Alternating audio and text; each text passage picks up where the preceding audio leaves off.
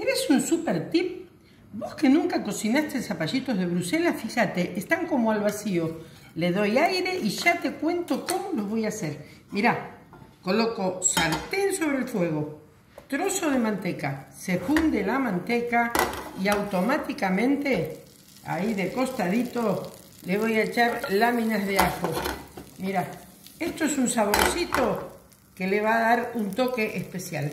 Mientras se funde la manteca y el ajo, voy a volcar ahí rápidamente los repollitos de Bruselas que los cociné en el microondas partido por la mitad apenas 8 minutos.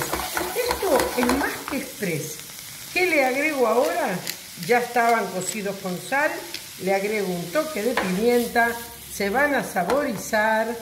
Sobre eso, un toquecito de salsita de tomate casera bien, bien rica. Lo dejamos ahí. Chorrito de crema de leche. Mira cómo está esto.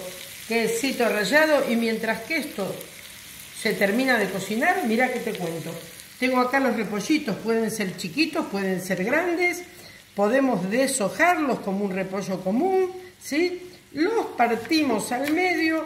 Los colocamos en una fuente, le echamos sal, tapamos con film cocinamos y mira cómo está esto. Mientras que vos me viste cómo se limpiaban, ya está la receta. ¿Te gusta? Va para vos.